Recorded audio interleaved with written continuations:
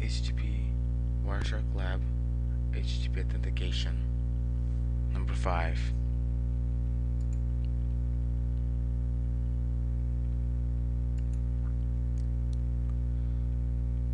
Click capture.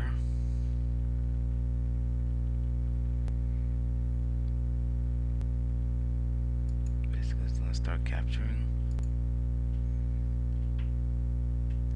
And I'm going to Mozilla, Wireshark. Shark. G.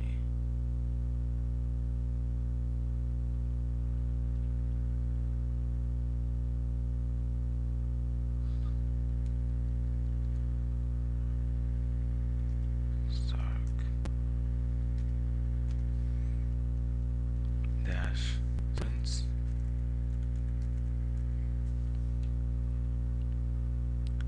Password network.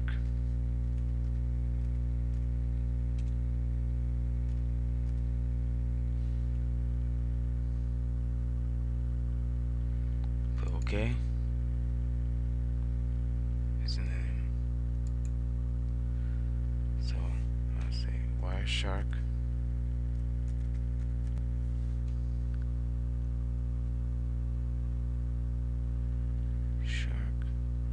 Dash students and password would be network.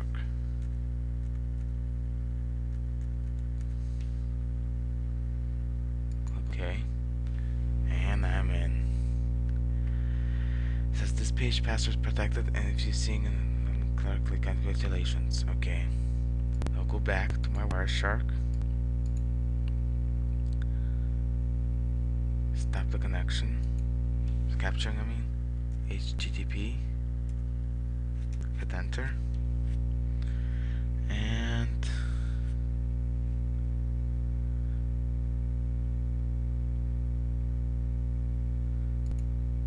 as you see, there's one get message. There's three get uh, three get messages and two HTTP messages. So I'm a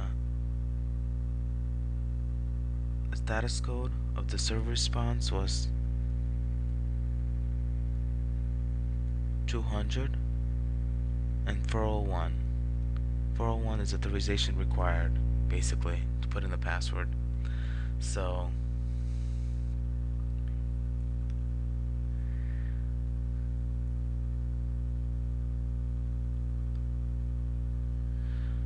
open my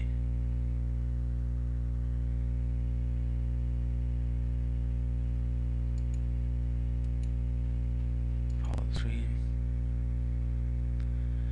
and I see that the authorization basic code is the same one that I put in. So if I open my Cain,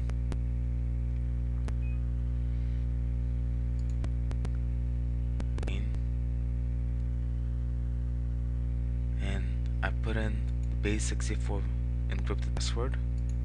It's right here. Copy. Paste. The decrypted password is Wireshark students and the password is network. So username is obviously Wireshark dash student and the password is network so when I click exit that was I was putting in when I entered the website putting the password in to get this this page. So